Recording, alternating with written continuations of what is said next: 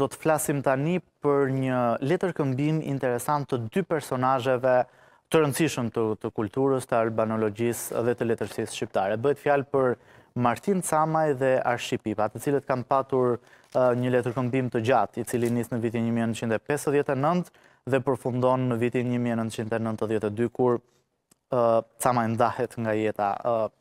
Por gjatë kësaj kohe ata, megjithëse larg fizikisht nga njëri-tjetri, kanë biseduar për shumë për shumë çështje dhe për, për, për Shqipërinë, për çështje të tjera, por për të mësuar më tepër për marrëdhënien e Camajt me Pipën dhe cilat janë elementet e këtyre letrave, unë kam të ftuar në studio Irena Buzin, që është botuese, por dhe kuratore e këtij libri, që është marrë shumë gjatë me këto letra. Irena, faleminderit që je në studio. Faleminderit juve. është një libër voluminoz, është një kohë e gjatë që Camaj dhe Pipa kanë patur këtë letërkëmbim me njëri-tjetrin. sa kohë të është dashur që ti të merresh dhe të deshifrosh? Për shembull, kjo është një një letër, nuk e di me ndihmën e regjisë nëse mund të afroj, a duket në ekran, kjo është një letër me shkrimin e Martin Camajt. Edhe një tjetër me shkrimin e Martin... Janë, janë letrat origjinale këto që kam unë në dorë po. apo jo. Shkrimi origjinal i Martin Camajt. që është i vështirë për t'u kuptuar dhe për t'u deshifruar. Sa kohë t'u desh ty të merreshe me këto letra, Irena? Um, është dashur gati 2 vjet e gjysmë kohë. Um, në fakt filloi si një lloj pune uh, për të dalë në 100-vjetorin e lindjes së profesor Arshi Pipës, gjë që nuk u realizua dot për disa arsye. Ehm, ka qenë edhe ai momenti që filloi debati për Martin Camajn dhe mhm. më trembi pak disi, pastaj ndodhën disa ngjarje të tjera dhe Me thënë të drejtën, duke qenë një punë e vështirë, zgjati pak, duke pasur parasysh edhe këto dyja që përmenda. Mhm. Vështirësi shumë të madhe ka pasur deshifrimi i letrave në origjinal, që janë origjinal, letrave të shkruara me po, dorë, se ka edhe letra në dorëshkrim edhe letra të daktilografuara. Po, janë dy lloj letra, që janë letra të daktilografuara dhe mhm. letra të shkruara me dorë. Ti ke sjellë të gjitha letrat që janë te libri? Po, kam sjellë të gjitha letrat. Si ke rënë në kontakt me këto letra, Irena? Është interesante ta dimë. Në fakt, u bë një kohë shumë e gjatë që dihet që unë merrem me veprën e po, profesor Arshi Pipës. Po, ke kuruar dhe vepra të tjera të botuara të po, Arshi Pipës më herët. Po, ky është libri i njëmbëdhjetë që unë botoj nga Arshi Pipa dhe është i të themi është një punë që është bërë tërësisht si një libër i ri, pra nuk e ka lënë profesor Pipa. Profesor Pipa në arkivën e vet që ruhet tashmë nga familjarët e tij, nga zonja Nedret Kalakula dhe nipi i tij Plator Kalakula, në vepr në arkivën e vet ka shumë vepra dhe këtë e ka lënë të të bërë prej vetes vet. Pra ka pasur idenë që t'i botonte dikur këto letra. Që t'i botonte mhm. dikur dhe këto janë ruajtur mjaft mirë nga Fedra Kalakulla. Ka një ka një fletore me shënime mjaft të sakta, ku tregohet e gjithë vepra e profesor Pipës, çfarë është në arkiv dhe ajo që duhet botuar. Një pjesë e veprës së tij tashmë e... është botuar. E kemi mhm. botuar, dhe ky është libri i fundit që është botuar, sepse pres që të botoj edhe dy libra të tjerë këto kohë. Çfarë të ka bërë përshtypje ty, ose cilat kanë qenë, po themi, temat për të cilat diskutonin më shpesh Camaj dhe Pipa, ishin dy dy intelektualë që jetonin jashtë Shqipërisë, që jetonin dhe larg njëri-tjetrit, ë? Për çfarë bisedonin më shpesh Camaj dhe Pipa? Ë, në fakt kjo është një pyetje që më bën pak me droje për t'ju përgjigjur direkt. E kam fjalën, a ishin të informuar për atë që ndodhte në Shqipëri? Po, janë shumë të informuar, por do doja që të mbaja një profil disi teknik të them të pozicionit tim publikisht, sepse kjo është një e quaj, domethënë është një pyetje mjaft e nxehtë që nuk marr përsipër që t'i përgjigjem, jo, jo, sepse ka tema, ka tema, domethënë, nëse unë do thosha që Për çfarë flasin ata? Për një miqësi 30 vjeçare. Do do ta përcaktoja me një mhm. me një përmbledhje të tillë sepse ëm në një miqësi 30 vjeçare ka kaq shumë tema që flitet, ka çështje të jetës personale, ka probleme të albanologjisë, të politikës, të të letërsisë, veprat e tyre si shikohen nga këndvështrimi i njëri-tjetrit, etiketimet që mund t'i bëjnë njëri-tjetrit, shumë emra të cilët zihen në gojë, më falni nëpër letra, dhe këto janë të themi, janë gjëra që t'ia lëmë lexuesit, mhm. sepse... T'i zbulojë lexuesi, jo, po, nuk do zbuloj sekrete, po jam kurioz të di, duke qenë se Shqipëria në atë kohë ka qenë e mbyllur, ishte e vështirë që të kishe informacione, sa të informuar ishin Camaj dhe Pipa për gjërat që ndodhnin në albanologji, në kulturën shqiptare, në letërsinë shqiptare.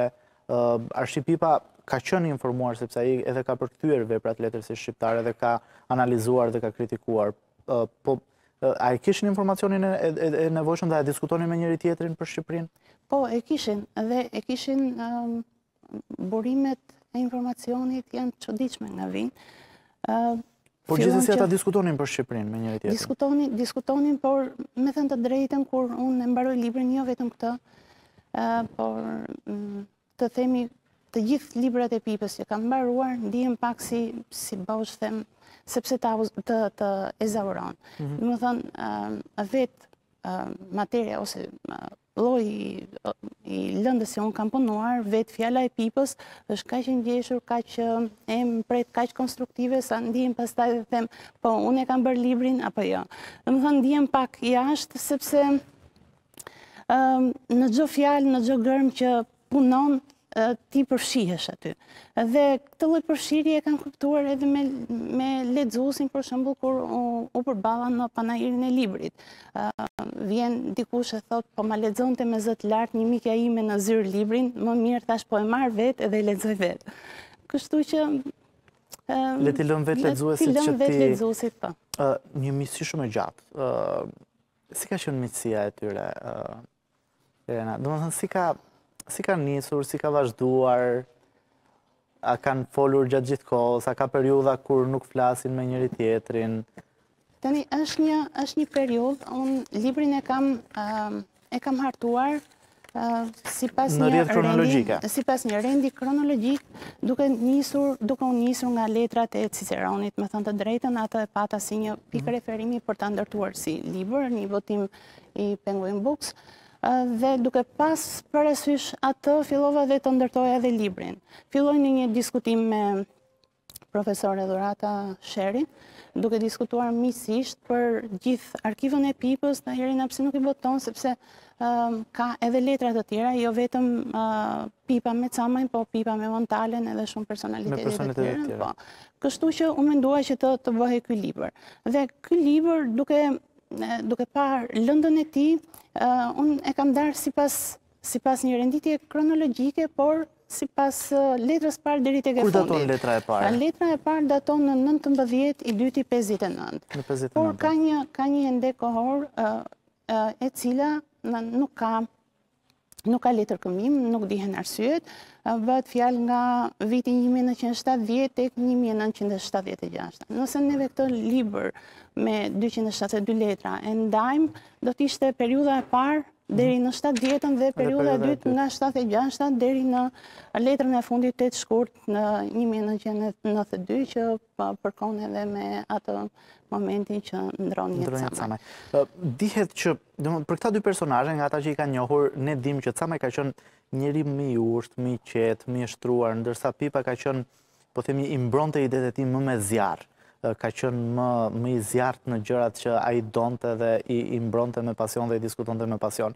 Grindeshin të dy me njëri-tjetrin natyra shumë të ndryshme Camaj dhe Pipa. A vihet re një grindje në letrat që ka një mosdakordësi me njëri-tjetrin në letrat? Apo janë gjithë kohës dakord me njëri-tjetrin? Jo, jo. Ka gjithmonë përcaktime dhe Pipa ndaj Camajt edhe Camaj ndaj Pipës, por gjithmonë përcaktimet e e profesor Pipës janë të paktën mua personalisht më duken gjithmonë... Janë më emotive, më, më të zjarrta, më... Apo... Nuk e di pse kam këtë përshtypje që, që Pipa ka qënë më...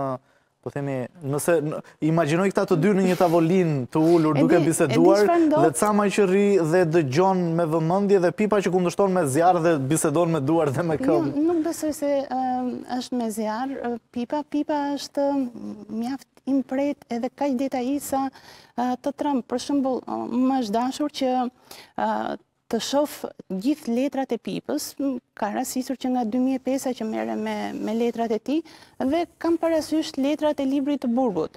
Dhe një person që shkruan me një shkrim aq të imët milimetrik, sa të arrihet sikur ti vë majën e lapsit mbi letër dhe në atë majë lapsi të të arrish të lexosh gërmën e për shembull ose l-në apo t-në e me radhë, do të thotë që ti arrin ta konstruktosh mendimin kaq imët. Po të vësh re për shembull letrat e e Martin Camajt ndryshojnë kaligrafia nga një letër në tjetrën mhm. dhe ka dhe është shumë emotive.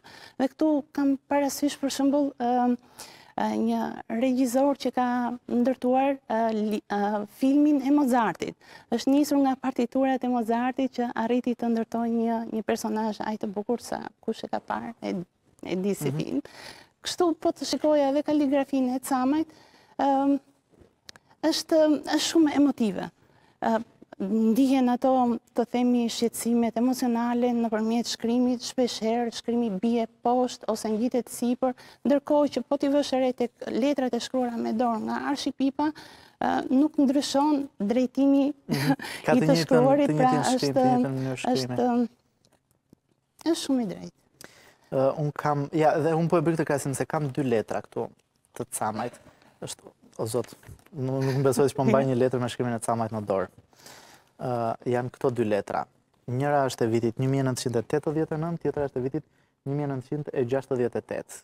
Kjo më e madhja është më e vjetër dhe dallon qartazi edhe shkrimi edhe mënyra se si i nënvizon gjërat që i do që t'i theksojë.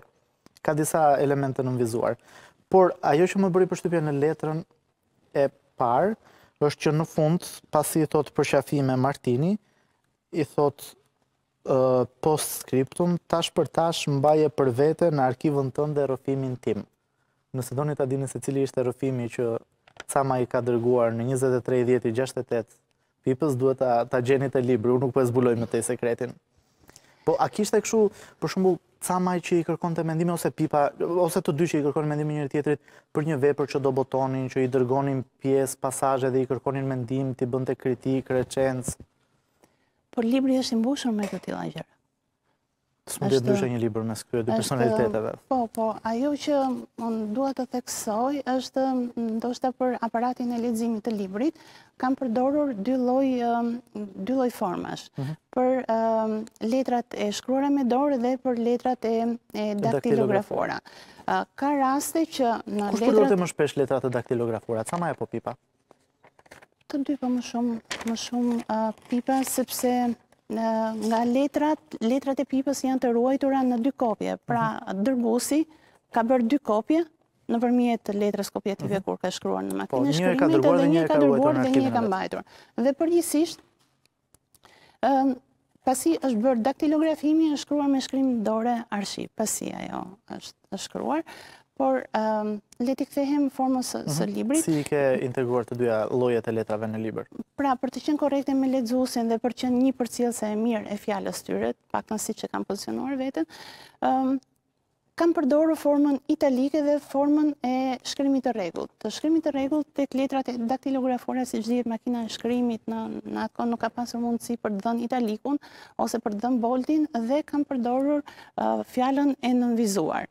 Dhe unë tek letrat që kam ndjekur uh, këtë lloj parimi për ta nxjerrë me shkrim regular ose të rregullt, domethënë, kam bërë letër, fjalën e nënvizuar, kurse tek letrat që janë shkruar me dorë, kam përdorur italikun mhm. për të qenë ajo forma e, e skriptit, mhm. e, shkrimit me dorë. ka pasur raste që letrat e daktilografuara janë korrigjuar me dorë, sepse ka pasur një Proces të tillë që ka pasur gabime, shenjat diakritike nuk vendoseshin dot nëpërmjet makinës së shkrimit dhe ky ka qenë Pipa ka dashur të ishte aq i po, përpikt në gjërat sa edhe aty ku nuk vendose dot një pikë apo po. një po themi ato kllapat e a-s apo të e-s, ai i ka vendosur me dorë në letra. Po, kjo ka qenë një, një diskutim për hartimin e librit, për shembull që a duheshin vendosur këto shenja diakritike në letrat e daktilografuara, apo jo.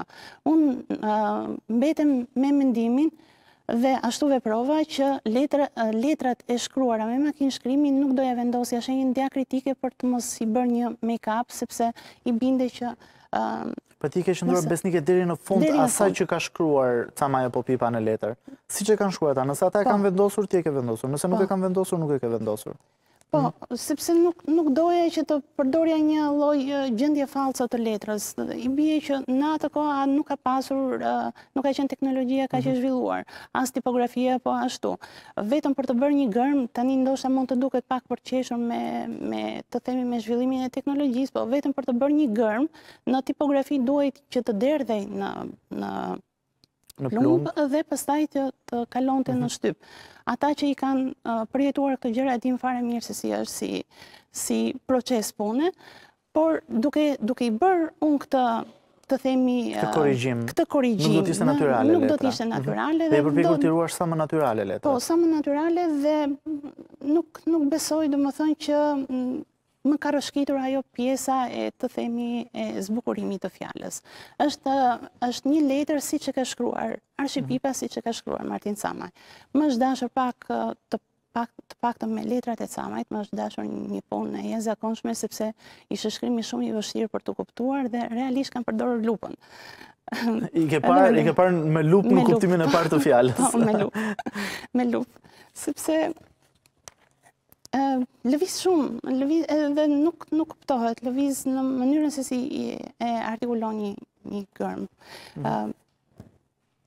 Çfarë më mbetet peng nga ky botim është që nuk arrita dot që të bëja një indeks ose tregues të emrat emrave të personave që janë të përfshirë në libër sepse është mm, është një libër që gëlon nga emrat... Nga persona, nga njerëz që përmenden në letrat po. e tyre. Po.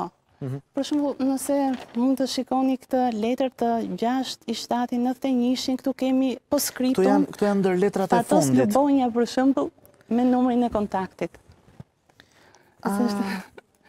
Pra- Camaj i dërgon një letër Arshi Pipës dhe i thotë i dashtun Arshi, më fal për vonesë, u mblodhën plot sende për t'u lajmërue, si shtesë të telefonit të Klosit. është fjala për Ardian Klosin? Po. Ndërkaq më telefonoi Fatos Lubonja, që gjindet në Hamburg, tek një korrespondent gjerman, mbrenda 10 ditve kthehen në Tiranë.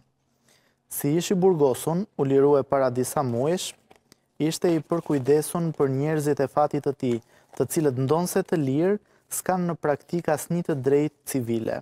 Pritet aprovimi i ligjit në parlament për rehabilitimin e njerëzve të padrejta ish të burgosun, familje të tana të të prekunve e të tjerë si klerikët. Dhe e të tjerë të tjerë nuk dua ta lexoj gjithë letrën. në fund e mbyll. Në Jeta e Re ka dalë lajmi i botimit të Albanika. Shumë të fala, Martini, dhe në fund i vendos me dorë me shkrim dore një postscriptum, Fatos Lubonja më telefonoi në këtë numër dhe vendos numrin e e Fatos Lubonjës. Kjo është një letër e daktilografuar, prandaj unë arrita ta lexoja dhe këtu në fund vendosen edhe detaje të tjera. Pra i njihnin edhe personazhet e pas 90-s, ata që që që ishin po themi personat më në zë të jetës publike pas viteve 90. Po, kanë qenë mjaft për një kohë të shkurtër deri në 92-shin se jo, pas sa më. Mjaft të informuar, nëse nëse kapim fashën kohore nga 90-ta e këtej mund të gjeni për shembull mendime për poezinë fjala vjen të Artur Zhejit, apo për Brikena Çabejn, apo për Kasëm Trebeshinën, Edi Ramën, Ardian Klosin. Edi Ramën? Klosin dje, po. Flasin dhe për Ramën? Po, flasin dhe për... Për Ramën si publicist në atë kohë? Po, për, sigurisht që po, për shkrimin e tij, është një mendim i profesor Pipës për shkrimet e tij. Mhm. A ka një letër që e do më shumë nga letrat e tjera që të pëlqen më shumë ose që duket më interesante në këtë libër apo duke qenë se ti e marr je përpjekur që të gjykosh ftohtë dhe të mos lidhesh emocionalisht me me letrat. Jo, jam jam lidhur emocionalisht. Ëm ndoshta nuk është gjë e mirë, por që Kështu ndodh me të gjithë librat që bëj, lidhem emocionalisht dhe kjo është ajo pjesa që më konsumon dhe nuk flas dot pasi libri përfundon. Megjithatë, nëse unë do do të thosha që një letër që të duket. Jo, nuk dua të veçoj një letër, por do doja për shembull të thosha që nëse lexuesi, ky është një target group i vogël lexuesish që mund ta marrin në dorë këtë libër, por brenda këtij brenda kësaj audience do thosha që nëse dikush Do t'i pëlqente për shembull historia e midis Ernest Koliqit, Martin Camaj dhe Arshi Pipës do kapte ato faza kohore që mbledhin letrat e, e mm, ku zënë në gojë Ernest Koliqi, mm -hmm. Pipa e Camaj. Ose nëse bëhet fjalë për Ismail Kadaren, ose nëse bëhet fjalë për, për Kadaren? Po, sigurisht, po. Ka dhe recensa të tëra. Domethënë për për veprat e Kadaresë që botohen në anglisht. Po, dhe mendimet të paktën për nëntëdhjetën, kur fillojnë ndryshimet, pozicionin që mban Kadareja, si interpretohet. Për largimin e po. Kadaresë në të. Po. Mhm. Ose, për shembull, nëse një lexues apo një studiues ka dëshirë që të kapi të themi çështjet e nëntëdhjetës e më mbrapa, Më fal, mund t'i gjej, pra renditja kohore është ajo që është orientuse. Kurse për të thosha për për atë që ka më lidh mua personalisht me, me librin, është ai momenti që jeta e përditshme fuqizon ose sublimon atë momentin që del tek vepra letrare apo tek vepra kritike apo tek mhm. mendimi politik, pra ato gjëra që ata këmbejnë për shembull mund të kenë vështirësi ekonomike si mund të ndikojnë këto tek vepra e tyre, po. Mhm. Për shembull problemet që ka pasur me botusin gjerman dhe Camaj futet si ndërmjetës për Pipën që të mhm. botojë veprat e veta, ke Mos na zbulo më shumë, mos na zbulo më shumë, na ruaj, na ruaj disa kuriozitete. Unë do doja të flisnim gjatë, por jam shumë kurioz që ta lexoj librin dhe të të shoh se cila ka qenë marrëdhënia mes këtyre personazheve të rëndësishëm dhe shumë interesant. Faleminderit shumë që ishe në studio dhe që faleminderit shumë gjithashtu që je marrë dhe i ke nxjerrë në dritë këto letra kaq interesante dhe që solle në studio letrat origjinale të Martin Camajt.